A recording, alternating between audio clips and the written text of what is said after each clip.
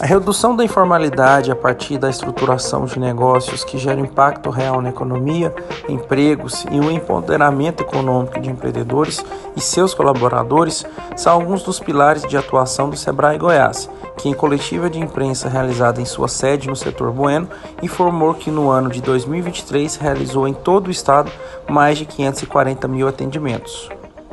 Durante o evento, o diretor superintendente do Sebrae Goiás, Antônio Carlos, também divulgou alguns números importantes que ratificam o cenário de inovação e competitividade vivido pelo mercado local que contribuem para o desenvolvimento regional.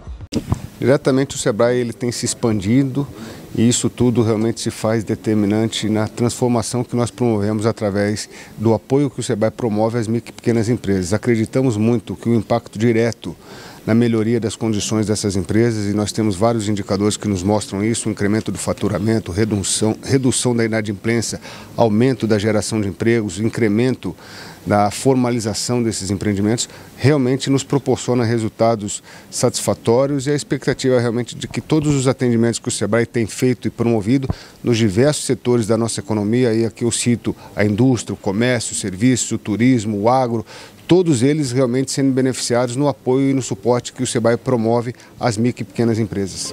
Ainda na perspectiva da inovação, dados do Sebrae Goiás demonstram que 82% das micro e pequenas empresas lançaram ao menos um produto inovador neste ano e que 83% implementaram alguma inovação organizacional.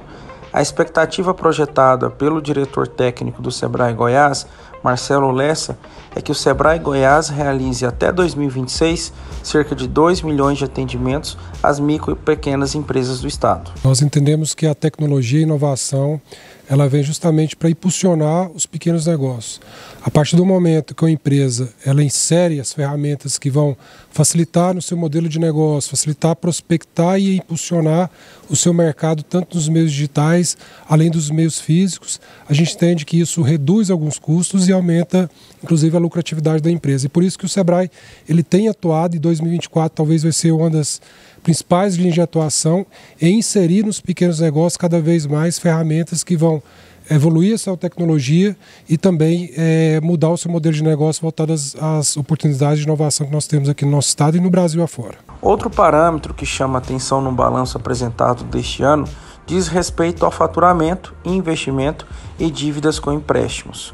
O presidente do Conselho Deliberativo do Sebrae Goiás e presidente do sistema FAEG-Senar, José Mário Schneider, destacou que os atendimentos traz resultados práticos para essas pessoas, especialmente nos 246 municípios. Foi um desempenho extremamente favorável. Nós saímos de 380 e poucos mil atendimentos para 540 mil, o que significa um crescimento de 51% com relação ao ano 2022. Quando assumiram o Sebrae, há pouco mais, quase dois anos, o Sebrae Goiás estava lá nas últimas colocações e hoje nós estamos disputando aí cabeça a cabeça as melhores colocações do Brasil.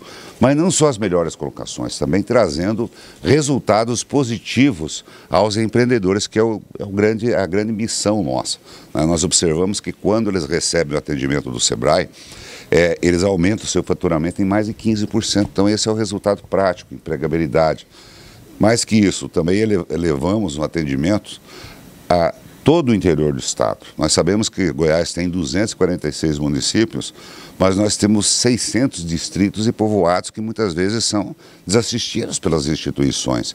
E o SEBRAE está lá, é, inauguramos esse trabalho em 2023, em 2024 nós vamos aprimorar ainda mais, levar esse trabalho para que cada vez mais nós possamos estar fazendo com que as micro e pequenas empresas do estado de Goiás possam ter aí uma, uma maturação maior, possam ter um nível de profissionalismo, profissionalismo melhor e com isso gerando emprego, renda e qualidade de vida às pessoas.